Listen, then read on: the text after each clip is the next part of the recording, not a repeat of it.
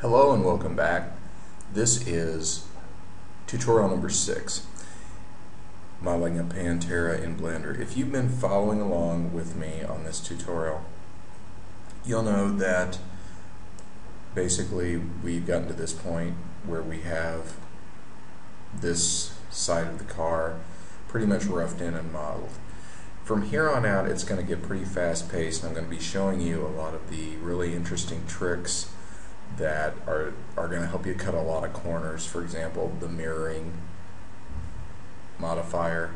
And uh, I've actually, I'll make a confession here, I, I worked ahead on this car. I had to delete some stuff to go back because I didn't save it uh, along the way. And I've done a couple of things. If you will direct your attention down here to the fender, I've made a few knife cuts to add a few vertices, and I'm going to show you how to do that uh, a little bit later. well, actually, I probably show, show you how to do it right now. Uh, first off, to make a knife cut, you have to select lines or polygons. I'm going to select lines, and I'm just going to cut this one right here. First, select this, select this, and select this. Now, when you are cutting adjoining polygons, you can't just make a cut here to here because you have to deal with this polygon here and the geometry, the way it works. You've got a point right here with, you know, basically nothing to go on this polygon. It won't allow you to do it. So what you're going to do is hit the K on your keyboard, knife exact. Then you can just strike a line from here to here and down to here, then hit enter, and you can see when you switch back to points, you've created a whole new set of vertices here. Anytime you need to create a set of additional vertices, you can do this. Remember those steps. We need to start modeling the roof now, and we're going to do that. so, I've already created an extra vertex here, so this is what we're going to do. We're going to select these multiple vertices here. We're still in point mode. Okay, we're going to extrude. Get our question mark, only edges, so here we go. I'm just going to extrude this up to here.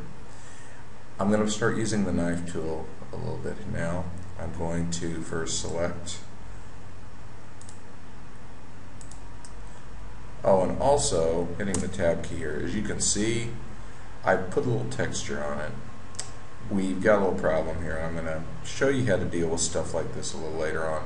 But for all practical purposes at this point, as you can see, the car is starting to look pretty good. Uh, it's near the end of this tutorial when I have the mirror modifier, it's really going to you know come together. That's one thing about modeling, it can get discouraging after a while. You're thinking, oh, my car just looks like crap, you know, I just, it's not looking right. I don't think it's ever going to look right.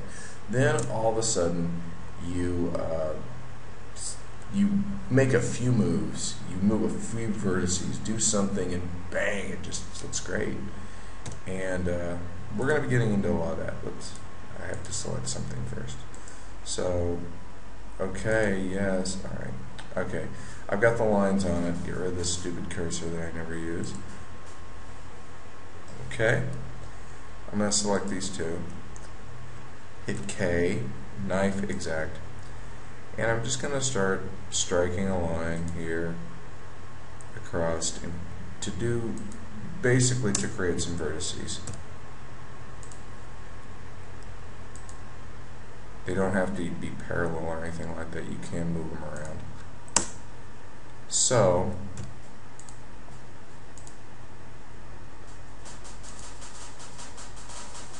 my fan there, okay. Sorry. All right.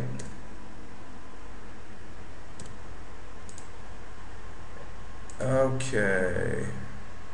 Some more there. And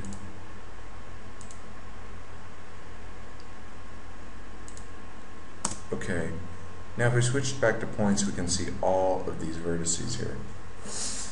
All right. Here's what I'm going to do starting by selecting this I'm not constraining it to a particular axis because again we're working in the side here we really don't need it I'm just going to oops here move these in to where they can form like so by hitting the G key we went over that already in other lessons now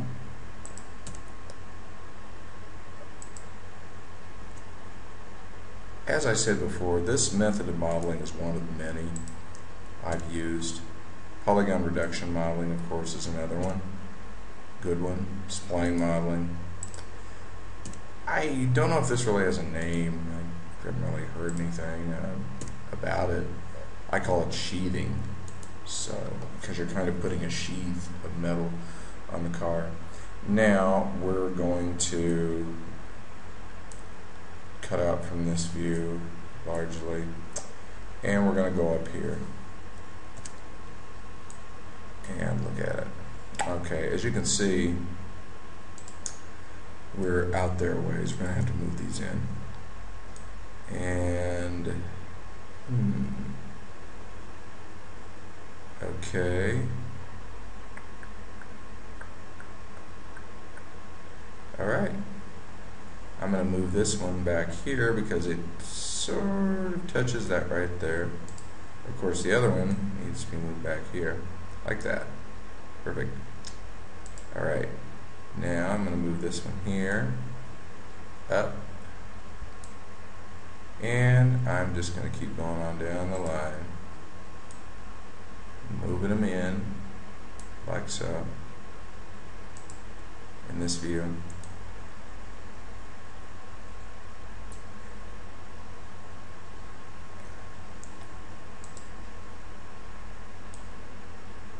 we're going to run into some interesting problems here in a little bit, and that's good because too many modeling videos out there that I've seen kind of try to ignore the problems a lot of the time that you run into when you're doing digital modeling. And that's not good because you're presented with a host of problems all over the place most of the time, and a lot of times you don't know how to handle oh man, what do I do? And then you go looking online, wasting all kinds of time.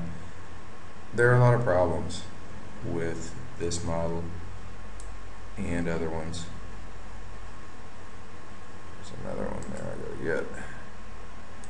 That in, there we go, okay. That's what we need right there. Okay. Back to the front. All right. we're going to do the same thing here. Now, I've got some points here that uh, were existed before. I'm just going to delete those, ignore this part. They're pre-existing points. Oops. Wrong one. Okay. Get that other verse. There we go.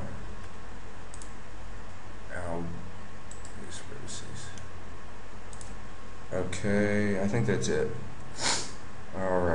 This is of course is the door and it does not connect to this. So I'm going to extrude this on the edges and bring this up here. Now we're going to do the same thing that we did before. First select the edges. Okay. Now we're going to do some knife cuts.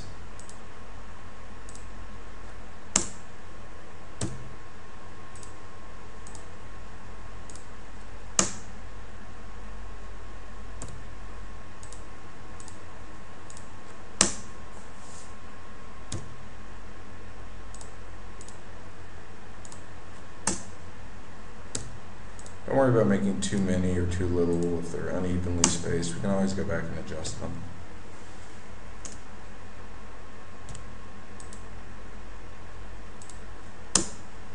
Right now we're just we're roughing the car in And it does look very rough. It doesn't look like a car that you probably want to buy out on the lot. But that's going to change abruptly when you see what happens. All of a sudden the car just starts looking cool. And then we start the real tedious process, fine tuning. As you can see, I'm just moving these into position. Also, in the next tutorial, I'm going to confront this little gem of a blueprint that's really off up here. I'm going to show you how to best adjust it. I have been ignoring this blueprint for quite some time because while it kind of conforms to the car, it's not perfect. There, there's some errors in it. I, I know what these errors are. I'm not going to go into detail as to what they are. Uh, to be a waste of your time. Um, basically, what we're going to do is we're going to fit this thing in as good as we can. And uh, then we're going to continue modeling from that. But as I said earlier on in the tutorials, we're going to start modeling from pictures quite a bit.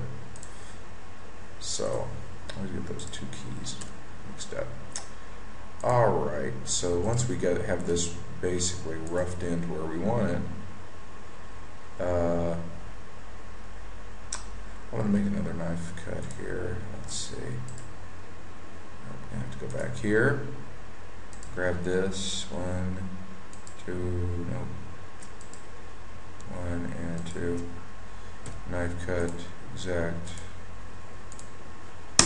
Alright.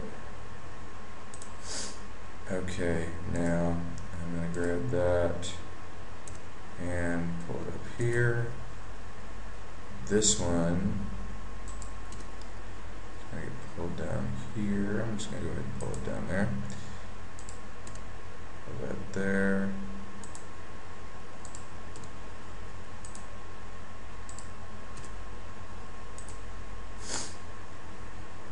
Okay. Alright. Almost finished with this. Okay. Now we need to swing back over here at the top. And I'm going to zoom in. Oops, okay. Not exactly the place I want to zoom in. There we go. Okay, now I'm just going to start selecting some points here and bringing them in. Just as best as we can. Oh, I hate that cursor. I don't even know, really, to be honest with you, I've never ever used this thing. I don't really know what it's for. I'm sure it has a purpose, but anyway, just kind of a pain in the butt.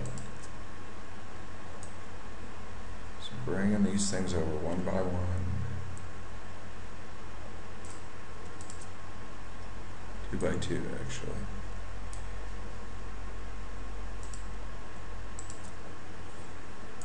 You know, one of, one of the things that really kind of turns perspective modelers that, that get into Blender or 3D Max or TrueSpace or some other program is the fact that you run into a lot of troubles, things that generally tutorial makers kind of shy away from or don't really explain very well. And uh, I've tried to leave a lot of mistakes. Uh, who am I kidding? I always have a lot of mistakes in my uh, efforts like this. Did I just drag something I shouldn't have? Hold on. Nope. Right where it should be. Okay. Drag that over there. Okay. That's where it should be. And let's move this over here. Alright. And we've got one more. Let's see.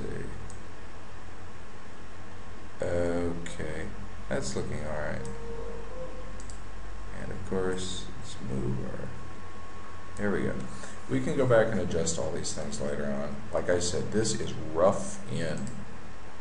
Rough in. It is not the finished product. Not intended to be. Finished product's going to look totally cool. But if we switch, there we go.